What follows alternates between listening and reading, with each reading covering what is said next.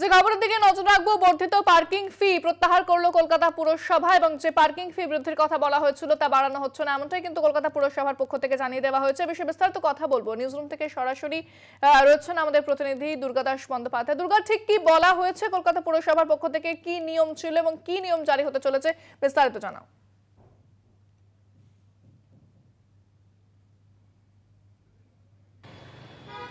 শৃঙ্খলভাবে করা যায় এবং পার্কিং ফিজ যে টাকার পার্কিং ফিজ কলকাতা পুরসভার হাতে যাওয়ার কথা সেটা যাচ্ছিল না। অনেক অভাব অভিযোগ আসছিল।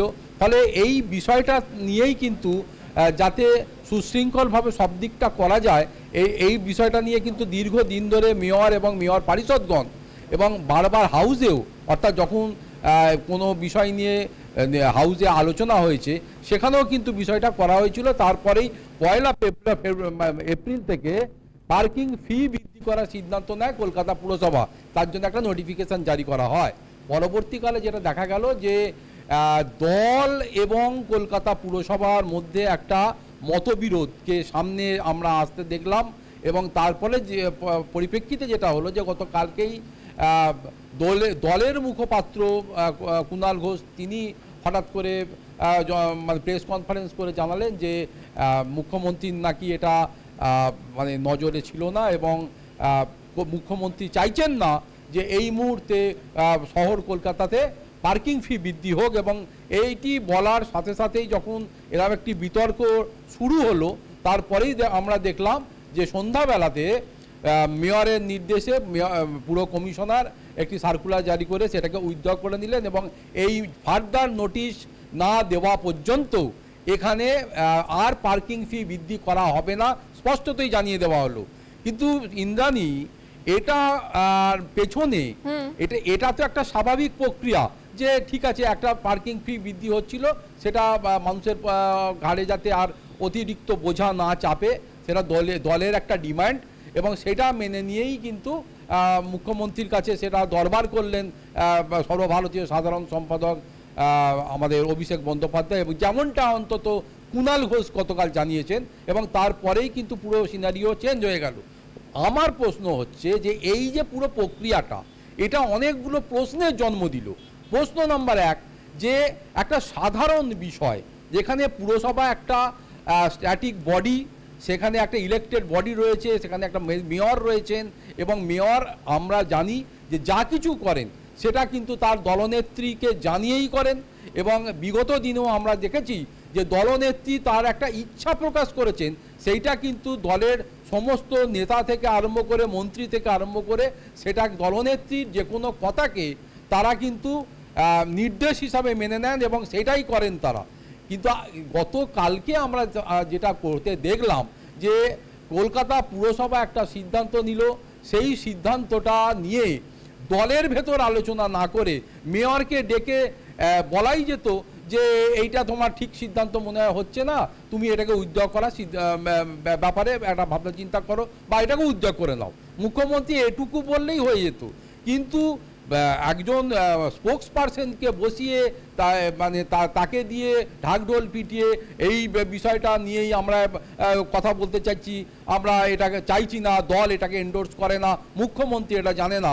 এটা একটা যেন মনে হচ্ছে, কোথাও যেন দলের সঙ্গে আর পুরসভার একটা সংঘাত।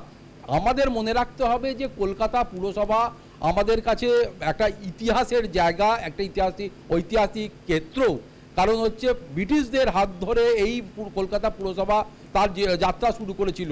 বিগত দিনে শহর পার্কিং ফি নিয়ে কিন্তু একটা বিতর্ক শুরু হয়েছিল। আমি তোমাকে বলব সঙ্গে থাকো এই মুহূর্তে আমি আমাদের আরও এক প্রতিনিধি দেবাশিস সেনগুপ্ত সরাসরি রয়েছে আমাদের সঙ্গে। সেখানে যাব কারণ সাধারণ মানুষ কি বলছে সেটাও জানা অত্যন্ত জরুরি। দেবাশিস কি বলছেন সাধারণ মানুষ? এবার তারা আহ, ঠিক কি প্রতিক্রিয়া দিচ্ছেন?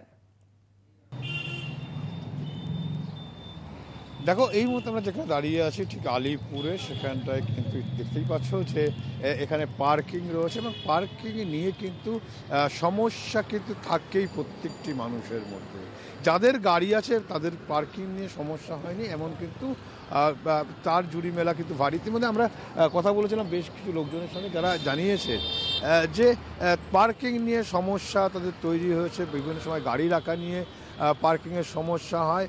এবং সম্প্রতি যে এক তারিখ থেকে যে পার্কিং ফিস বাড়িয়েছিল, তা নিয়েও কিন্তু রীতিমতো কিন্তু মানুষের মধ্যে সমস্যা হয়েছিল। যদিও গতকালই তৃণমূল কংগ্রেসের মুখপাত্র কুণাল ঘোষ তিনি জানিয়েছিলেন যে অভিষেক বন্দ্যোপাধ্যায় দলের সর্ব সাধারণ সম্পাদক, তিনি জানিয়েছিলেন যে, পার্কিং ফিস কিন্তু কমাতে হবে সেই নির্দেশ মমতা বন্দ্যোপাধ্যায় দিয়েছে এবং সেই মোতাবেক আমরা দেখলাম পুরসভা পার্কিং ফিস কিন্তু ইতিমধ্যেই কমিয়ে দিয়েছে, অর্থাৎ পুরনো রেটে করেছে। কিন্তু যে সমস্যা তৈরি হচ্ছিল পার্কিং নিয়ে, সাধারণ মানুষের সমস্যা হচ্ছিল রয়েছেই এমনি পার্কিং নিয়ে, বিভিন্ন ক্ষেত্রে অনেক সময় বেশি পয়সা চাওয়া হয়। ঠিক এরকম কথা বলব না পার্কিংয়ে যারা যুক্ত আছে তাদের সঙ্গে ভাই তোমরা পার্কিংয়ে কাজ করো, কতদিন ধরে পার্কিংয়ে কাজ করছ? এখানে প্রায় এক বছর মতো কাজ করছি। আহ, সেক্ষেত্রে পার্কিং নিয়ে মানুষের সঙ্গে অনেক বেশি সময় সমস্যা হয়। কি বলবে? সমস্যা এই নতুন রেটটার জন্য সমস্যা ঝামেলা হচ্ছিল খুবই। ঠিক আছে কালকে রাত্রিরে খবরে শুনলাম রেট আবার কমে গিয়েছে। ঠিক আছে এই নিয়ে আর যে রেট বাড়িয়েছিল অনেকটাই বাড়িয়েছিল বলে মনে হয়। হ্যাঁ অনেকটাই বেড়েছিল। সেক্ষেত্রে এখন থেকে আবার কি আজকে থেকে কি হচ্ছে? পুরনো রেট আহ, পুরনো রেট দশ ছিল? হ্যাঁ দেখো দেখো ইতিমধ্যেই কিন্তু নতুন নতুন যে রেট চার্ট সেই নতুন রেট চার্টও কিন্তু যারা এক তারিখ থেকে যেটা লাগু করা হয়েছিল সেই নতুন রেট চার্ট এসেছিল সেক্ষেত্রে কিন্তু পার্কিং ফিস অনেকটাই বেশি বলে কিন্তু মানুষের অভিযোগ ছিল। যে মোতাবেক কিন্তু সেই কিন্তু গতকালই রীতিমতো কিন্তু সেই কমিয়ে দিয়েছে। আমরা কথা বলব সাধারণ মানুষের সঙ্গে যারা কথা বলছে। পার্কিং করেন গাড়ি? পার্কিং নিয়ে কোনো সমস্যা হয়? হ্যাঁ সমস্যা তো মালিকরা করছে। হ্যাঁ। মালিকরা সমস্যা করছে কিন্তু এখন আজকের তো বলছে নতুন ফের এই পুরানো পার্কিং এর রেটে নাকি চলবে আজকের থেকে। হ্যাঁ সেক্ষেত্রে মানে গাড়ি রাখতে গিয়ে কোনো সমস্যা হয় না না গাড়ি রাখে সমস্যা নেই ওই পয়সার মালিকরা সমস্যা। এই জায়গায় সমস্যা নেই। কি না না এলাকা বলে না পার্কিং নিয়ে সারা জায়গায় বিভিন্ন জায়গায় সমস্যা সমস্যা আছে। সমস্যা হয় আপনাদের? আমরা গাড়ি নিয়ে গেলে গাড়ি জায়গা দেয় না ডবল পয়সা নিয়ে পার্কিং দেয়। হ্যাঁ। পার সিট আছে রাস্তার সিট আছে। তো এই যে এক তারিখ থেকে যে পার্কিং ফিস বেড়েছিল কি বলবেন? কি বলব বেড়েছিল বেড়েছিল ঠিক আছে সব জিনিস- জিনিসের দাম বাড়ছে পার্কিংও বেড়েছে কোনো ব্যাপার না। এটা লোকের রোজ হয় পাঁচশো টাকা। ও ওই কি করে পার্কিং ওয়ালে কি করে রুদ্রদের শুকনোতে বেচারা কাজ করছে। তাদের তো পেট আছে। কিন্তু সেটা বেশি পার্কিং ভাড়া দিতে অনেক সময় পার্কিং এর সঙ্গে ঝগড়া হয়। হয় ঝগড়া হয়। এনি টাইম হয় ঝগড়া। পার সিট রাস্তার সিট আমরা যাই বড় বাজারে যাই এরা একশো টাকা ঘণ্টা করে নিয়ে তারপরে পার্কিং দেয়। পঞ্চাশ টাকা ঘণ্টা জায়গা থাকলেই দেয় না ঝামেলা হয় এনি টাইম হয়। আমরা আমরা আমরা কথা বলব আবার পার্কিংয়ের সঙ্গে। তোমার নামটা কি? আমার নাম সানু মণ্ডল। এই যে এই সমস্যা হয় ঝামেলা হয় অনেকের সঙ্গে যাদের কাস্টমার তাদের সঙ্গে ঝামেলা হয়। কেন ঝামেলার মূল কারণটা কি? ঝামেলা মেন কথা হচ্ছে ওই নতুন চারটা দেখলেন ঠিক আছে দু ঘণ্টা চল্লিশ এবার তিন ঘণ্টা আশি চার ঘণ্টা একশো কুড়ি পাঁচ ঘণ্টা একশো ষাট আবার পাঁচ ঘণ্টার উপর থেকে একশো টাকা করে ঘণ্টা। এবার মানুষ তো রেগে যাবে এমনি আমাদের এইটা তোমাদের ফেস করতে হচ্ছিল এক তারিখ। থেকে হ্যাঁ এক তারিখ থেকে ফেস হচ্ছে। মানে ঝগড়া হচ্ছিল লোকজনের সঙ্গে? হ্যাঁ হ্যাঁ?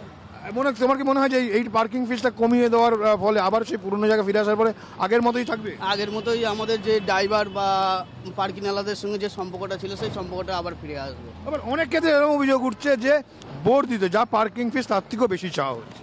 না এখানে আমাদের রেট টাঙানো আছে কোনো ড্রাইভার সবই রেট দেখেই সেই রেটই দিচ্ছে। তোমার জায়গায় হচ্ছে না দেবাশিস একটা বিষয় জানতে চাইব যারা পার্কিং এর দায়িত্বে আছেন তারা কি কোনোভাবে সাধারণ মানুষকে হেনস্থা করেন? অর্থাৎ সাধারণ মানুষকে কি হেনস্থা হতে হয় তাদের হাতে?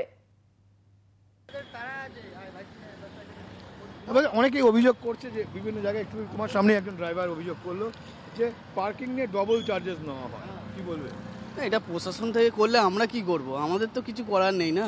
যেটা আপনি কি বলছিলেন? বলুন। আমি বলছি কি এখানে মোটামুটি গড়িয়াহাট বালিগঞ্জের দিকে ঠিক আছে কুড়ি টাকা দিয়ে মিটে যাচ্ছে ঠিক আছে কোনো অসুবিধা নেই।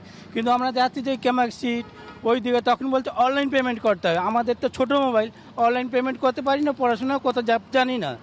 আর তারপরে এই যে তিন চার ঘণ্টা পরে যদি কুড়ি টাকা করে যদি নিচ্ছে আমার কোনো অসুবিধা নেই। এই যে তিন ঘণ্টা পরে যে আশি টাকা নিচ্ছে এইটা আমাদের অসুবিধা আছে। মালিক বলতে কি, তুমি কুড়ি টাকা করে বলতে কুড়ি টাকা ঠিক আছে। তারপরে যে পাঁচ ঘণ্টা পরে যে আমি একশো টাকা করে দেবো, তখন বলতে যদি আমি পাঁচশো টাকা পরে যদি আমি একশো টাকা করে যদি আমি পাঁচ ঘণ্টা, দশ, ছ ঘণ্টা রাখি তা আমার সাত, আটশো টাকা রেখে যাবে। তাহলে আমার গাড়ি রেখে লাভ কি? তার থেকে তো আমি ওলা উবের ধরে চলে এলাম, কোনো টেনশন কিছু থাকবে না। তাহলে তোমাদের কোনো অসুবিধা হবে না। তাহলে তোমরা তোমরা কাজ দেখে নাও। যদি আমি ট্যাক্সি, যদি আসি ট্যাক্সি করে, তোমাকে তো বসে মাইনে দেবো না। একটা যদি আমি মান্থলি দু হাজার টাকা, আড়াই হাজার টাকা মান্থলি করতাম। সেখানে আমাকে কুড়ি হাজার টাকা যদি মান্থলি করতে হয় তাহলে আমি গাড়ি রেখে আমার কোনো লাভ নেই। আচ্ছা, দেখতে পাচ্ছ যে অভিযোগ কিন্তু অনেক রকমই আসছে। এবং সেই জায়গায় আমি আরেকবার পার্কিংয়ের সঙ্গে জিজ্ঞেস করব যে ভাই তোমরা অনেক ক্ষেত্রে বলা যে রসিদ দাও না কি বলবে? যে পার্কিংয়ের এর ফিস রসিদ দাও না সে তারা মালিককে দিলে মালিক টাকা দেয় না কি বলবে? না রসিদ আমাদের দেওয়া হয় যেটা অনলাইন পেমেন্ট এখন হয়েছে। ওটা টিপলে যেটা অনলাইন করলেই সাথে সাথে রসিদ বেরিয়ে আসছে। রসিদ সাথে সাথেই দিয়ে দেওয়া হচ্ছে। অনেক ক্ষেত্রে স্লিপ তোমরা যাও সেটা সেটা দেওয়া দেয় না অভিযোগ করছে। না স্লিপ যখন স্লিপ ছিল তখন স্লিপ দেওয়া হতো। ঠিক আছে দশ টাকা দশ টাকা এখানে কি এখন তুমি কি অনলাইনে করিয়ে করছ? হ্যাঁ এখন অনলাইন দেবাশিস তোমাকে একটু থামাবো। নিউজরুম থেকে রয়েছেন আমাদের প্রতিনিধি দুর্গাদাস বন্দ্যোপাধ্যায়। দুর্গা কিছু জানতে চাইছে এবং দুর্গা তোমার যদি কোনো প্রশ্ন থাকে তুমি দেবাশিসকে সরাসরি জিজ্ঞাসা করতে পারো। হচ্ছে যে শহর কলকাতাতে বিগত দিনে, অর্থাৎ দু হাজার চোদ্দ সাল থেকে এই যে এই যে যাদের হাতে এই টেন্ডারটা রয়েছে, অতএব পাঁচ থেকে ছটি কোম্পানি, তাদের হাতেই কিন্তু কুক্ষিগত হয়ে রয়েছে পুরো এই পার্কিংয়ের ব্যবস্থা। এবং এর জন্যে কেউ যদি দু হাজার টাকা দিয়ে একটা এক্সাম্পল যে দু হাজার টাকা দিয়ে যদি কেউ এই পার্কিং লটের এই মানে ইয়ে- এটা পায়, টেন্ডারটা পায় সে দু লাখ, দু কোটি টাকা কামানে মানে যখন ইনকাম করে চলে যাচ্ছে, তার বৃহত্তর অংশ কিন্তু কলকাতা পুরসভাতে পৌঁছচ্ছে না। এর মধ্যে যে ম্যানিপুলেশন ম্যানিপুলেট করা হচ্ছে, অর্থাৎ কলকাতা পুরসভাকে টাকার হাত থেকে বঞ্চিত করা হচ্ছে। এই বিষয়টা নিয়ে আমি দেবাশিসকে বলব যে তারা বিগত দিনে, ই এখন তো নয়, ভেন্ডারিং প্রসেস শুরু হয়েছে। যখন ভেন্ডার ছিল না তখন তারা যে পার্কিং ফিস নিত, সেটা কীভাবে পেমেন্ট করতো সত্যি কি কলকাতা পুরসভা তার ন্যায্য টাকা পেত? দেখো, একদম দুর্গা, এই বিষয়ে যেটা বলেছে, এটাই একদম সঠিক কথা যে কুক- কলকাতা শহরের যারা পার্কিং ফিজ নেয় গুটি কেউ মুষ্টিমেয় লোকের কাছে কিন্তু তারা রয়েছে। যেমন তুমি যদি ধরতে পারো, একটা বড় সংস্থা, নাম আমি বলছি না, যার নাম শুরু পি দিয়ে। তারা কিন্তু এই কলকাতা শহরের বড় অংশে ধর্মতলা চত্বর ডালাউসি চত্বর পার্ক চত্বরে তারা পার্কিংয়ের ইজারা নিয়ে আছে তারা যে ইজারা নিয়ে যে নিজেরা চালায় এমনটা নয়। তারা কিন্তু প্রত্যেকটা জায়গায় সাব মানে ফ্র্যাঞ্চাইজি দিয়ে দেওয়া হয়েছে। যেমন আইমি এই মুহূর্তে যেখানে দাঁড়িয়ে আছে, সেখানে লেক মার্কেট কোঅপারেটিভ সোসাইটির নামে একটা সংস্থা আছে, যারা নিজেরা এখানে করছে এবং সেখানে কয়েকটি রাস্তা তাদের হাতে আছে। কিন্তু যে অঞ্চলে পার্কিংয়ের ফি সব থেকে বেশি, যে অভিযোগগুলো আসছিল, বড়বাজার পার্ক স্ট্রিট ডালাউসি এই চত্বরে যাদের হাতে সেই পার্কিং ফিসের দায়িত্ব রয়েছে, সেই সংস্থা যার প্রথমক্ষ শুরু পি দিয়ে, তারা নিজস্ব অনেকগুলো রাস্তা নিয়ে টেন্ডার তারা নিয়ে রাখে এবং সেখানে তারা ফ্র্যাঞ্চাইজি দেয়। এবং সেই জায়গায় শহর কলকাতায় যেমন গাড়ির সংখ্যা বেড়েছে রাস্তার সংখ্যা কিন্তু বাড়েনি। অর্থাৎ দীর্ঘদিন ধরে সেই পার্কিংয়ের ফিস কিন্তু যে জায়গায় রয়েছে গাড়ি গাড়ির দাম বাড়ছে সমস্ত কিছু জিনিসপত্রের দাম বাড়ছে কিন্তু পার্কিংয়ের ফিস কিন্তু সেই একেবারে অর্থাৎ সেই অবস্থান থেকে সরে এসেছে কলকাতা পুরসভা এবং বর্ধিত পার্কিং ফি দ্বারা প্রত্যাহার করার সিদ্ধান্ত নিয়েছে। ধন্যবাদ দুর্গাদাস বন্দ্যোপাধ্যায় আমাদের প্রতিনিধি এবং দেবাশিস সেনগুপ্ত দুজনকে আমি ধন্যবাদ জানাব। আমরা এই খবরের দিকে নজর রাখছি এবং আরও বিস্তারিত খবর নিয়ে ফিরছে বিরতির পর। সঙ্গে থাকুন।